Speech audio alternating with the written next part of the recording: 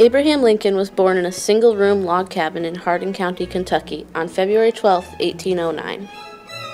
Abraham Lincoln became president in 1861. The southern states didn't agree with Lincoln because he was against slavery.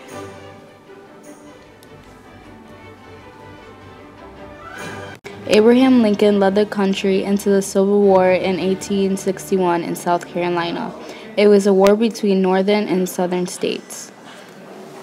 Abraham Lincoln was known for one of the greatest speeches in American history, known as the Gettysburg Address. This speech was given in Gettysburg, Pennsylvania on November 19, 1863.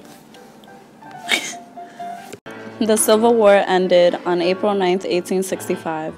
General Robert E. Lee surrendered. Lincoln wanted the country to heal and rebuild. He even wanted to help the southern states reconstruct. Lincoln was shot by John Wilkes Booth while seeing a play at Ford's Theater in Washington, D.C. He died on April 15, 1865. Bang, bang!